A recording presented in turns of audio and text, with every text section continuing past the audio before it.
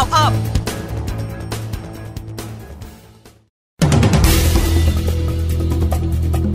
8นาฬิกา4นาทีเสียรถเบนซ์ก้มกราบศพรองผู้กำกับการและภรรยาเตรียมบวชหน้าไฟอุทิศส่วนกุศลให้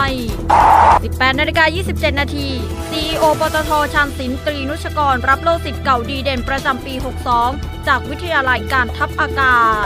18นาฬิกา35 นาที รัฐมนตรีว่าการกระทรวงทรัพยากรธรรมชาติและสิ่งแวดล้อมห่วงใยคนสู้ไฟ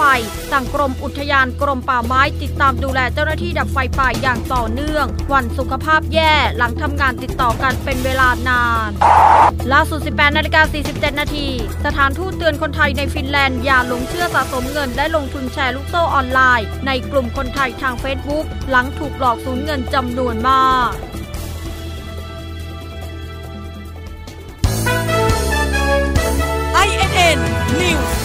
now up.